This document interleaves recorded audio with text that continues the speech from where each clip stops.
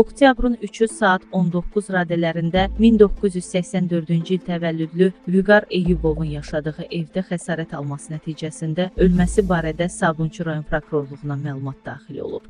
Bu barədə Viq Aza prokurorluqdan məlumat verilib. Bildirilib ki, aparılmış araşdırmalarla müəyyən edilib ki, əvvəllər məhkum olunmuş. Narkotik vasitə alıcısı olan Vüqar Eyyubov yaşadığı fərdi yaşayış evinin həyətində ailə üzvlərinə narkotik vasitə tapmalarını tələb etməsi səbəbindən ailə münaqişəsi zəminində aralarında baş vermiş mübahisə zamanı fiziki zor tətbiq edib.